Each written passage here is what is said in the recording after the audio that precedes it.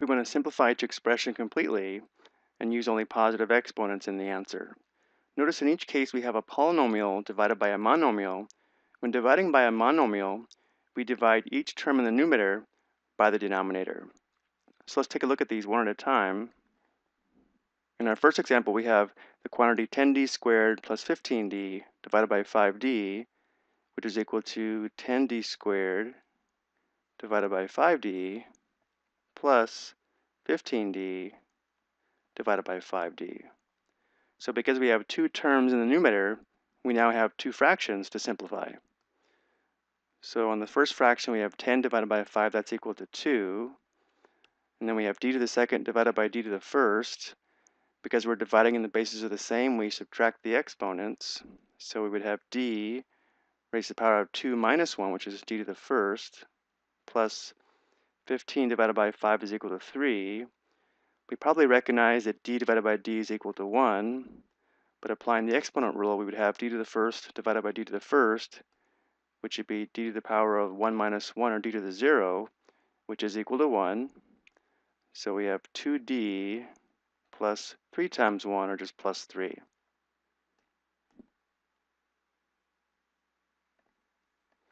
Next, we have a trinomial divided by a monomial.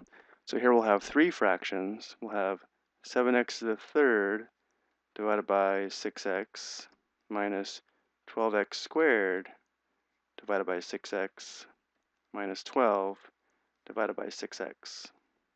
Looking at the first fraction, we have 7 divided by 6, which doesn't simplify, so we just have 7 6.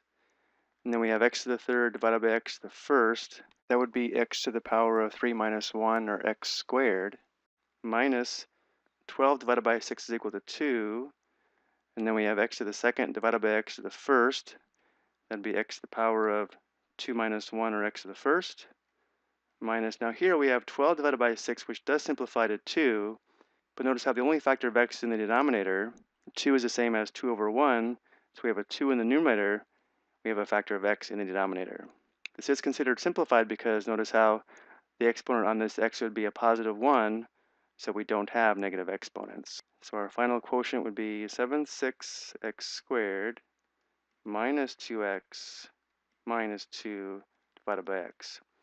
Now looking at this first term, I do want to point out that 7 6 x squared is equivalent to 7x squared divided by 6 because we can think of the x squared as being x squared over 1.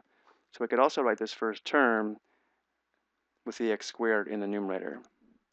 But we'll go ahead and leave it in this form here. Let's look at our next example. Again, we have three terms in the numerator divided by a monomial. So we'll have three separate fractions. We have 160 x to the fifth divided by 5x plus 20x to the third divided by 5x plus 5x divided by 5x. So simplifying first fraction, 160 divided by 5 is equal to 32. And then we have x to the fifth divided by x to the first. That's x to the power of 5 minus 1, that's x to the fourth. Plus 20 divided by 5 is equal to 4.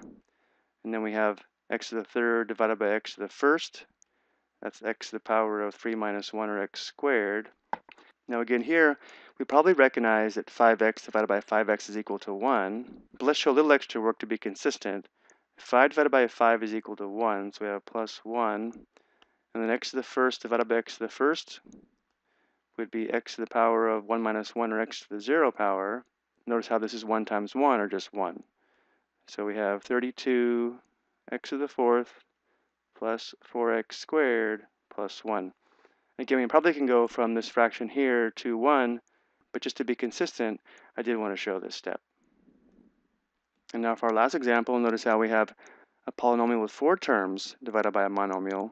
So here we'll have four separate fractions. So we have 24x to the third divided by 3x minus 51x squared divided by 3x plus 5x divided by 3x, and then finally plus 1 divided by 3x.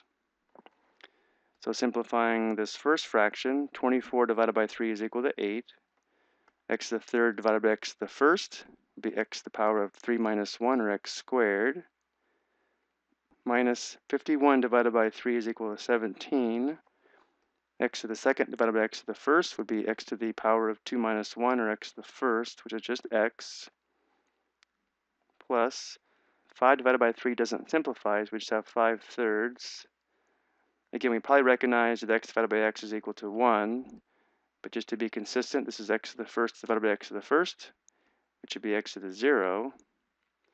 Now here we have 1 divided by 3, which doesn't simplify, and we have this one factor of x in the denominator, and the exponent on this x is positive 1. So this doesn't simplify at all, we just have 1 over 3x.